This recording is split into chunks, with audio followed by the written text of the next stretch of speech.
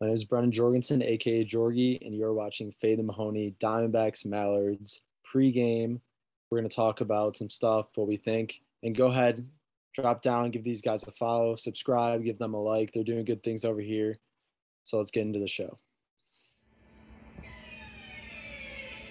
Preview a little bit, like what what is uh, the thought process going into the series against the Mallards? How do you attack Jordan Robles? What's the game plan? Yeah, well, to quote my teammate Jonah Heath, nobody said it was going to be easy. so, uh, hey, welcome back to Fade the Mahoney. Uh, we're going to preview uh, Mallards Diamondbacks National League Championship Series.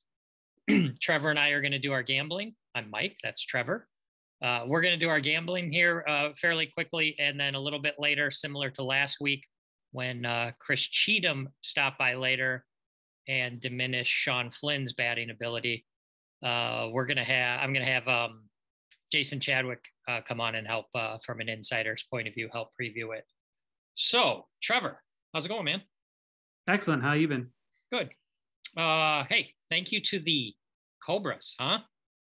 Coming on the show. You guys, those of you who watched this, seem to like that one. We had a lot of interaction, lots of views. So, thank you to the Red Baron. Thank you to Sean Flynn, and thank you to uh, Drew Davis for making the time. That was a pretty good show.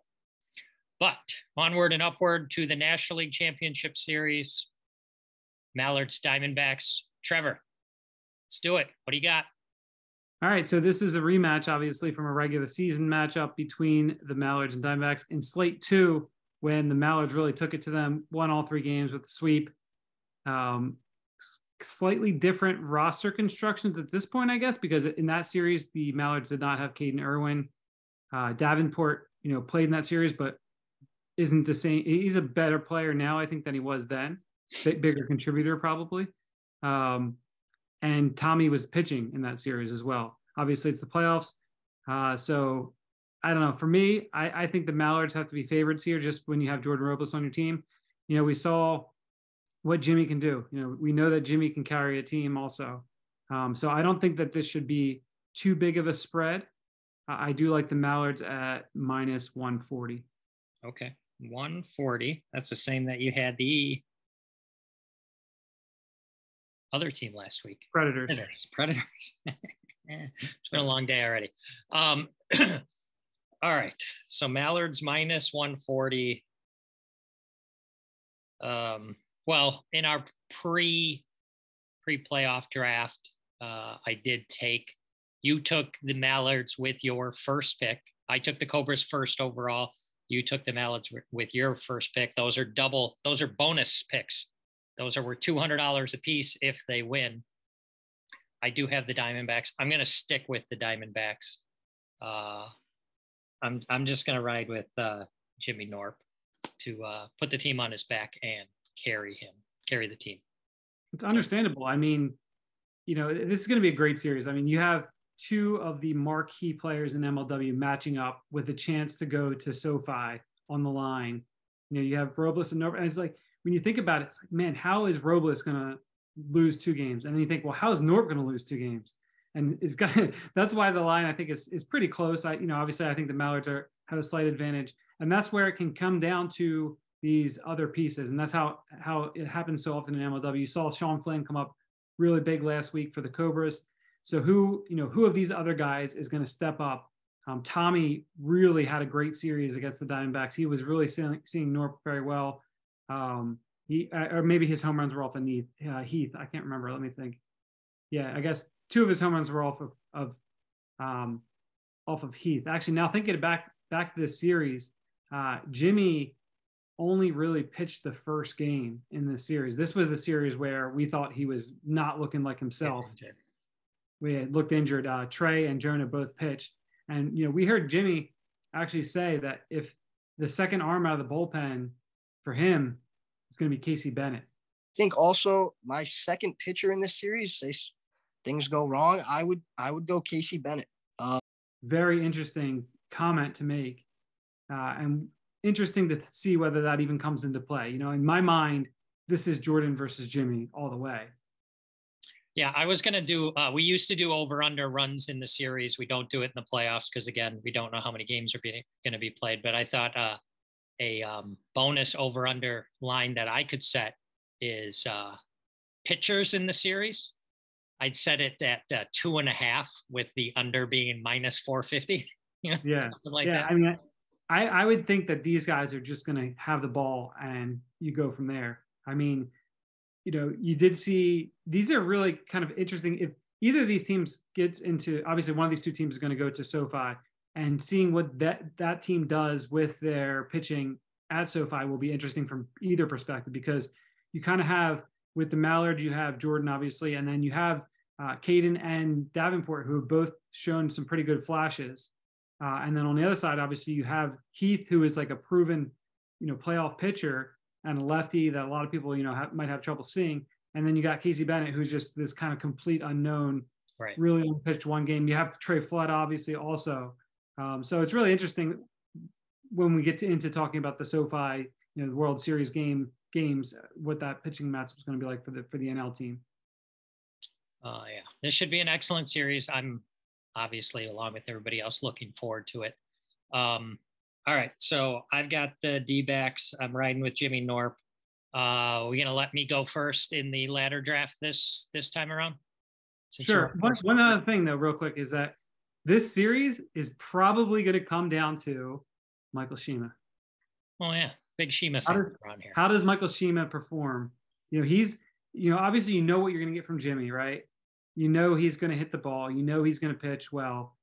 What Shima does seems to carry a lot of weight for this team, both in the field and if he can come up with a few clutch hits, he could be the X factor. Well, that and Heath has the ability to hit multiple home runs. He he seems to me to be an all or nothing hitter, at least the last few series. So that'll be interesting. But uh, Shima, as we said on their last uh, recap when they beat the Eagles, Shima was nothing less than great. He did everything they needed him to do uh, in, in the batter's box and in the field. He was fantastic. So. Um, And then what can Tommy and Caden do on the other side? You know, obviously, if if Tommy's producing behind Jordan, that makes or either of them, you really only need one of those two guys to perform really well. Not even really well, just get on base. If you give Jordan two at bats an inning, it's going to be hard to beat the Mallards. Yeah, that's i think that's really true uh these are two three man lineups for sure right just I, I can't imagine them doing anything but three man lineups. All right. All right, we're in agreement there. Okay i get to uh pick for the ladder right? Yes, yeah okay i'll take uh robles. Interesting little hedge, little hedge there. well i can i am supremely confident he's going to pitch every pitch. I can't say the same for jimmy even though i think they both will but i yeah. So yes kind of a hedge Okay, well, I'll obviously take Mr. Norp. all right do him dirty like that. um, uh, if I had one wish, my one wish is that it goes three games. Yeah.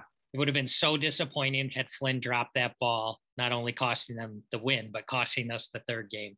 So let's just let's play three, everybody.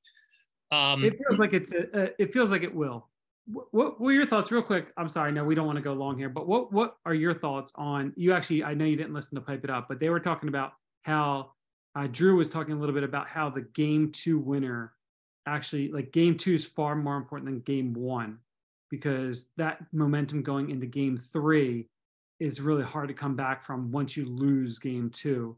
And you kind of saw it with both the Eagles Diamondback series and the Preds Cobra series that that game two winner there was huge emotional swings there and that was hard to come back from. um, I guess that's interesting. The fact that Drew said it means it's probably wrong.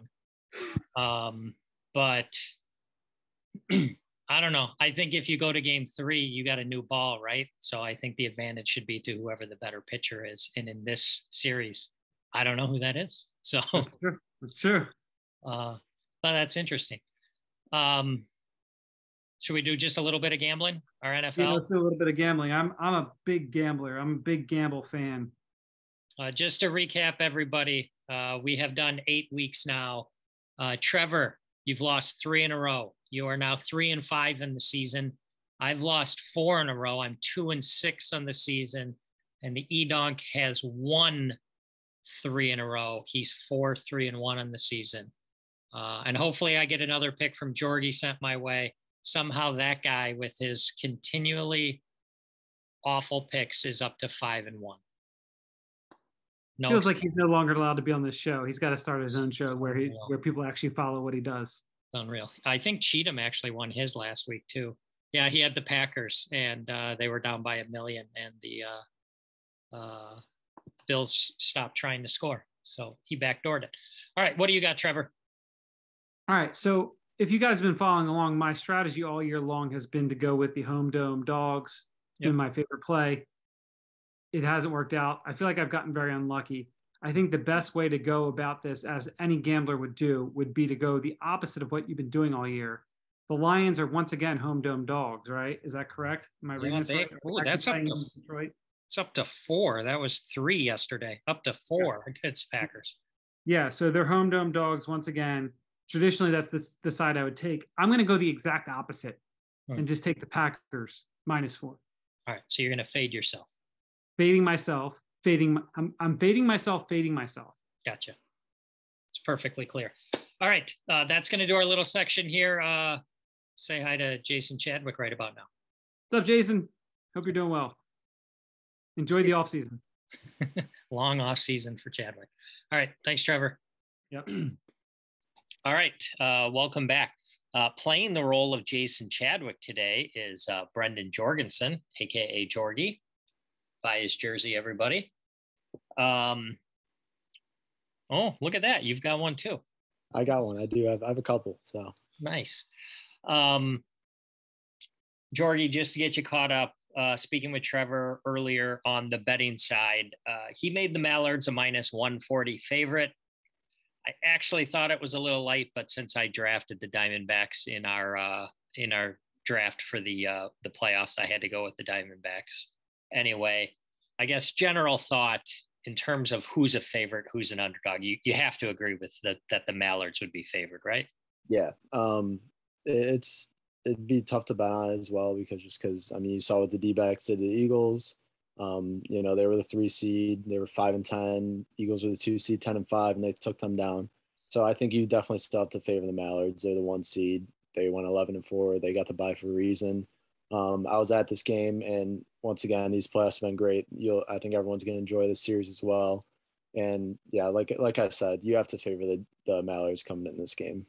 All right. Um, well, obviously, we know the if there was a billboard, it's going to be um, Robles versus um, Norp.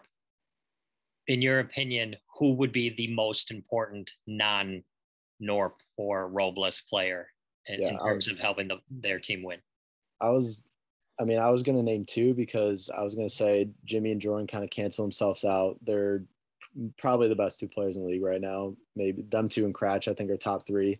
So I think whatever they do are going to kind of cancel each other. They're going to pitch a lot. They're going to hit homers. So I think it's really going to come down to Jonah versus Tommy. Um, Thomas had a great season. He's hit a lot of homers. He's kind of having Jordan on his team has kind of really helped him out with his confidence, I think, and he's kind of just been able to do what he does best, just hit homers in big spots. And Jonah, these last couple of series, especially against the Eagles, both times in the regular season and the playoffs, he's been huge. And you know, Jimmy's kind of sat back and just did his work on the mound. I think Jonah was a better hitter than him in the Eagle first Eagle series, and he honestly might have been uh, in that first playoff series too. So I think it's just going to come down to what Tom and Jonah could do. And then obviously little pieces like Caden and Shima can really, you know, if Tom and Jonah end up canceling each other out too, then, you know, Caden and Shima down the end of the line can really help them. Yeah, we've slowly but surely turned into a um, Michael Shima show here. Uh, big Shima fans. We've already talked about it earlier with Trevor. Um, I think we asked you the question two series ago. Uh, I don't know how to phrase it so that you give the answer that you want to give, but how about just which pitcher? Okay. Um, just one second. I asked last time who was the better pitcher between uh, uh, Norp and Dallas, yeah. and you said uh, Dallas, and then I rephrased it as who would you want on the mound if yeah. you had to win the game, and you said Norp. So, yes. uh, uh, just to catch people up, you can only yeah. have one. Who do you want? Okay. Um, honestly, if like I think I'll go both on one side. I think the more talented and the guy I'd want is probably Jimmy still. Um, you know, I saw you saw what he did against the Eagles. He really pitched well. You know, they saw off hot, but the way he just can't kind of just calm himself down. You know, they lost first game, down three nothing the second game. If you have a guy that can just calm down, let the bats do the work, and just shut out the rest of that game, and then shut out the third game, that's the guy I want. Um, you know, Jordan has a whole bunch of wiffle ball experience. He's been doing that for a while. Uh, this this method's a little new to him. He's really he's still doing perfectly fine with it. Like he's still a ace and a really good pitcher. But I think that if Jordan gets that spot where Jimmy was uh, last series against the Eagles, I, I don't think Jordan honestly would have been able to hand it the same way. Handle it the same way. Nothing against him, but you know, I, I don't know if anyone could have done that like Jimmy did. So take Jim. Uh, yeah, we've been pretty blessed with a pretty good series. Uh, any comments uh, you want to make before we get into some NFL betting? Anything you want to say about the series we just watched between the Cobras and the Predators? Any thoughts? Yeah, uh, going going into that series, I wasn't at that one, but I remember texting like Cratch, like when when do you guys play the Cobras? And he like texted me, oh, we played them like today, we lost, and I was I was shocked after. I, I mean, I didn't see it at that point, but you know, everyone was telling me pretty much exactly what happened that Preds Wildcat series and the way the Cratch was hitting the end of the season in that series. I just thought Preds are going to be in the World Series, which is kind of uh, not respecting what the Cobras have done this year, and obviously so because that, that was an awesome series. Uh, I think Cal did a good job editing that video, making it intense with that whole second inning bases loaded situation, and then them coming back. So, uh, you know, I think there's this Mallards D-back series, another great one. I don't know if it, I don't know if it's going to top that one, but yeah, we'll, we'll see. Depends honestly. Sometimes when you see the video, the play in person and then you go watch the video and see what Cal does with it, does with it, that kind of weighs heavily on what I think about like the intensity of the video. All right. Uh, on the record, uh, do you agree? Questionable if the uh, Cobras deserved it. Oh, because Warda said that. yeah, when I I saw that, I texted Warda. I was like, questionable, deserve it. Dang, and he was just like, yeah, I was just being like a little bitch. Then like I was just I was just and they, I think uh, Drew said something about on Pipe It Up about how Warda was just like texting the next day and hoping they would win. But yeah, no, they deserve it for sure. They got the one seed. They beat out the Wildcats and the Preds in the AL, and those are or not yeah in the AL, and those are fantastic teams. And then they took down the hot scorching Preds. So yeah, they definitely deserve it. All right. Uh, uh, shameless self promotion in addition to him talking about it on Pipe It Up, he also talked about it on Fade the Mahoney when he joined uh, Sean Flynn and the Red Baron. Uh, and we talked yeah. about it then as well. Yeah. All right. Anything else you want to say about MLW before well, we get into some NFL? Let's do some NFL. Why not? All right. Uh, this guy right here has given us six straight weeks of picks. One of them has been graded a loser. The other five are winners. No one's hotter. It's not really the point of the show. We're supposed to give losers here, but uh, what do you what do you say about that? Fade the Mahoney. Yeah, I said the the show is Fade the Mahoney. The segment we do is Ride the Jorgy. All right, Ride the Jorgy. What do we got? What's your lock of the week? Yeah, so honestly, looking through this week, I thought it was really tough. Um, you know, there's six teams on by, there's less games, so less options to pick from, and there's a lot of like really heavy favorites. There's like a 14 point favorite and a couple 12 and a halfs. And I don't know if I'm ever down to pick either side of those because you don't know how it's going to go, how the better team shows up, what kind of garbage time you get. So when picking mine this week, I just kind of uh, dwindled it down to there was a team that I thought should have been favored that wasn't. So I think I'm going to take that team, and that was Seattle on the road. At, you know, well, I might as well stick with the team on the road. It's been working, but they aren't favorites this time. They are underdogs. They're uh, two point underdogs against the Cardinals, and you know the Cardinals have last two years have never really played that good at home. Um, I think they are playing better, but Seattle's just t- took down the Giants, who's been playing really good. Um, you know that offense with Geno Smith, Lockett, and Metcalf were questionable if they were like healthy or not, and they looked pretty healthy last week. They got another week to get healthy. Uh, Ken Walker looks like a stud, and so I'm gonna I'm gonna take Seattle because I thought they should have been favored. and he's Mike's probably gonna say it's a bad pick because he always does, but you know. I've lost so I, much money fading you. I'm just exactly. I'm probably just gonna keep it quiet right now. Uh, yeah. The scary thing is, um, I agree with that, but I think everybody in the world agrees with that. I don't. That's, you can't. I don't. I agree with you. How are they favored by? How are the Cardinals favored by two? They're terrible at home. Yeah. They don't win football games. Yeah, and the Giants pick I made a couple weeks ago against the Jags where they weren't favored. That was one where I was kind of like, yeah, everyone's probably throwing money on this, but you know, it ended up working out. Uh, and last week, everybody had the Titans. It's I don't, I don't understand how you're doing what you're doing, Jorgy, but I mean, I'm just I'm just taking taking what I like. You know, I, I sit down and watch nine hours of football every Sunday, so I just kind of watch the team, see how they perform. I'm like, that team's good, that team's bad you know, I, I, I wasn't a huge fan of this lock just because I didn't like a lot of the options, but you know, this is this is probably the one I was most confident about. All right.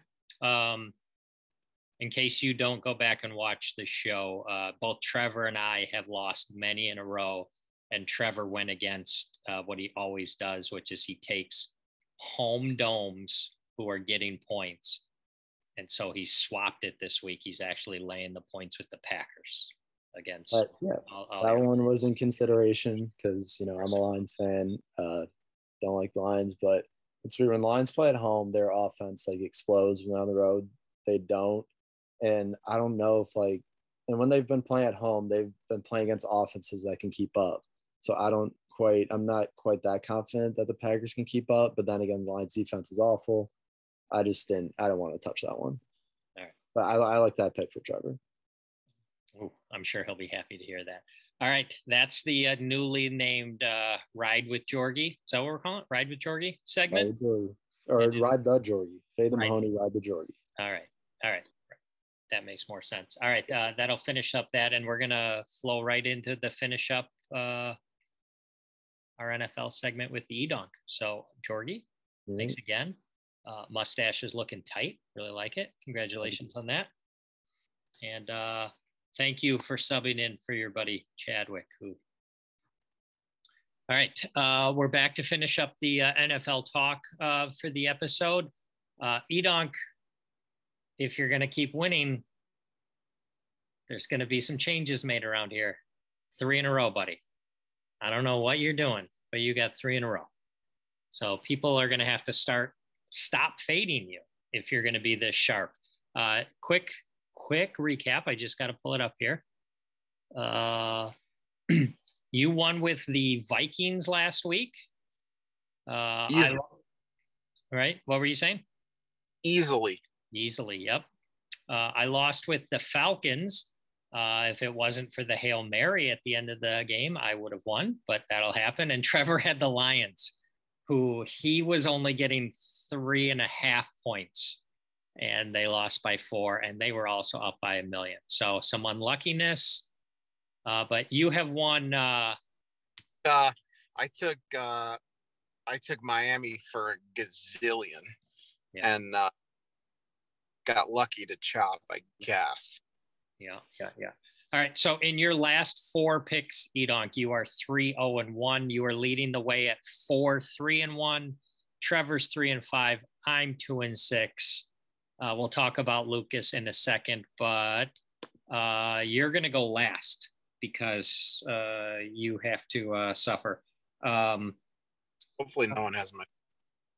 Uh, uh, Trevor took Green Bay minus four, and See, awful. And I'm just going to take one of those that you want to throw up in your mouth when you take it, but I am going to do it. I'm going to take the Washington Commanders plus three and a half. Yep. At home against the Vikings. That's my pick. What do you got?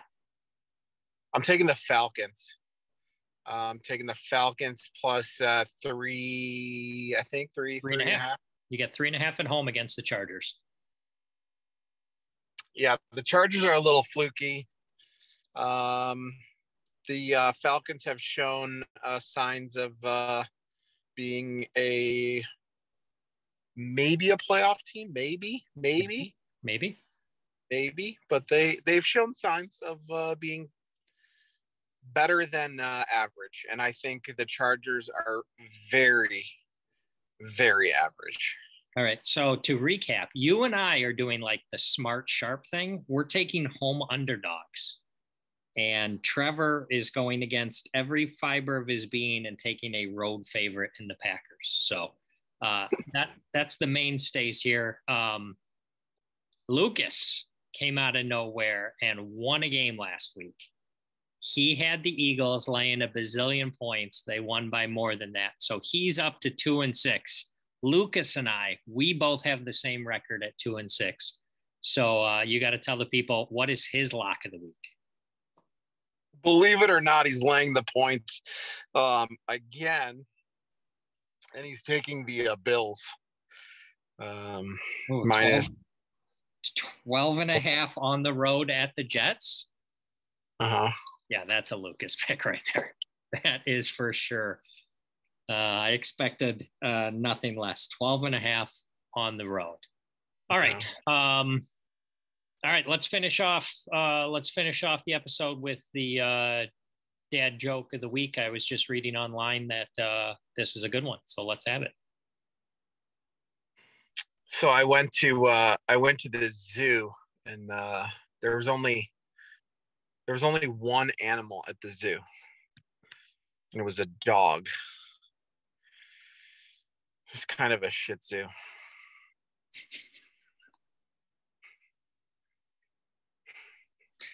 Uh, that was pretty good. I don't even have to bleep that to keep in compliance yeah. with uh, YouTube. So, all right. It's a, it's a Shih Tzu. All right. Uh, good gambling, everybody.